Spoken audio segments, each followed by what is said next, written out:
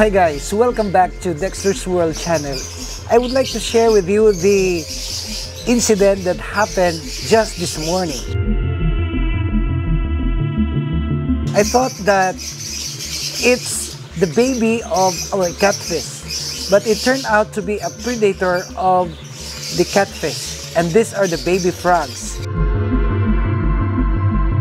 And these baby frogs are very plenty that we have to extract this baby frog from the catfish pond because they are eating the baby catfish. I believe that this is more than 10,000 baby frogs that if we will not separate them from the baby catfish, all of our baby catfish will be devoured. And this is the reason why we spend so much time and effort catching all the baby frogs that would somehow become a devastating predator.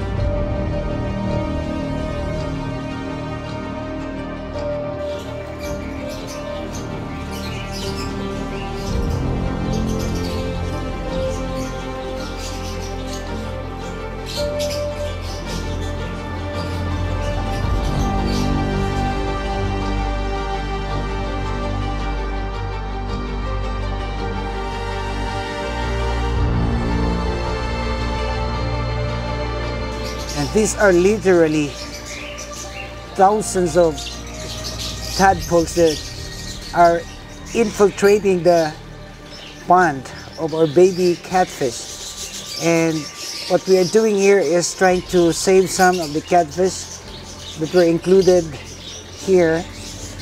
And please do make some suggestions what we're gonna do with these tadpoles. Are we gonna kill them or we will release them right at the mud pond? But I'm more convinced of releasing them in the mud pond because I'd like to feed them to our tilapia and adult catfish over there. And I can see some kohol, I can see some of the, you know, nymphs, the baby dragonflies that are here. And this is what makes things very exciting because the nature is really working here.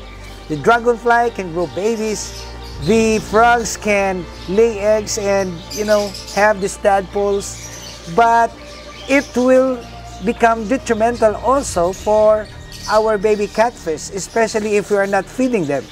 It's good that we are feeding our baby catfish that the attention of this frog are focused on the food that we are giving. But if we don't feed them, the frog's attention will be shifted to eating the baby catfish that will, you know, make us fail in this catfish farming. And this is the reason why we have to be keenly observant about what is happening right inside your fish pond.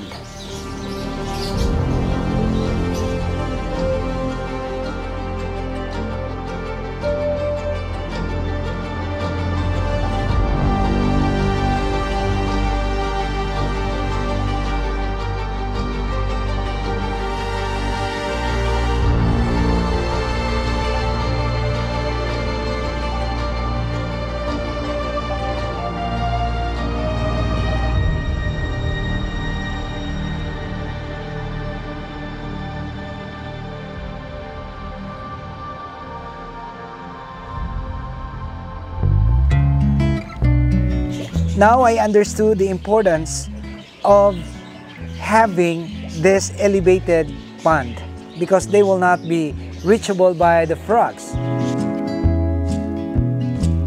The only predator that can disturb in this kind of tank is the bird.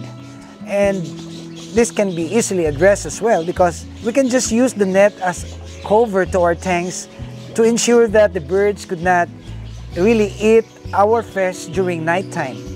And uh, this is the only thing that can happen But in the fish tanks which are low, then many things could happen. They can be infiltrated by the frogs, by the dragonflies, and the rats, and many others. So I would like to make some suggestions that if you're still starting on your catfish farming or even the koi farming, then you can also consider, you know, doing a pond like this, elevated, so that the predators are less likely to infiltrate the fish that are inside the tank. And you look at this, our catfish that are here are already growing big and I can count thousands of them already. Well, I cannot safely assume that the population are still complete, meaning that the 3,000 number of baby catfish are still 3,000 right now because we cannot verify it. But the moment we feed them, they surface and eat the food and they're plenty. And I'm so you know glad with this development because this is not just an easy thing to do. You know, maintaining a pond like this and ensuring that they will really grow big is not an easy task. We have to do some tedious monitoring about the health, the water quality, and even the protection of the fish from the predators. So things are coming good for us. I hope that we can start up with our restaurant for this catfish as recipes so that our customers could start eating the catfish that we can serve in this floating restaurant or the boat restaurant that we are also trying to accomplish. And I'm so glad that we already have completed the boathouse on the 80 or 85 percent. The 15% will be done in the next coming days.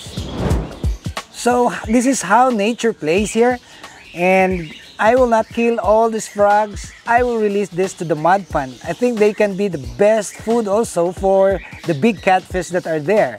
And we have their tilapias and the ducks can also eat this, you know, tadpoles of these frogs. And you know that this can be also a good source of protein for our ducks.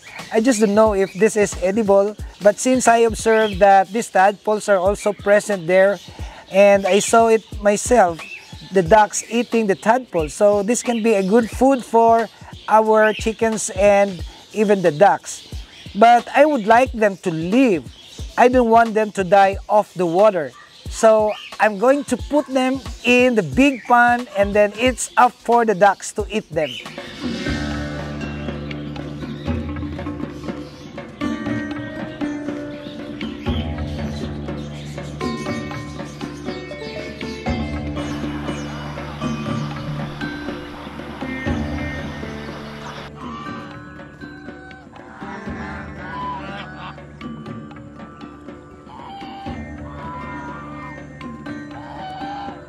So my staff now will release all these tadpoles and I will ask the Cody and Arjun, they are going to release this in the mud pond.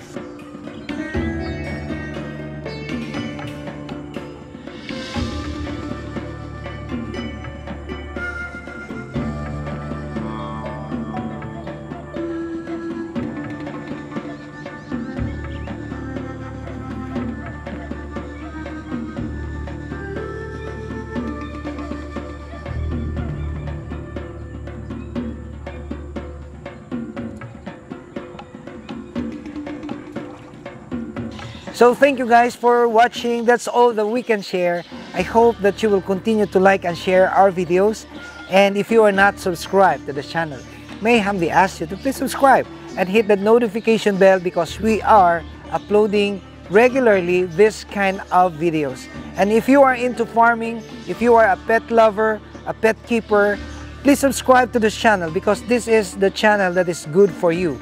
We are revealing our ups and downs, our best and bad practices, and even the victories that we experience out of the practical methods and tips that we, we do in this farm. So I would like to see you in my next video, all here at Dexter's World.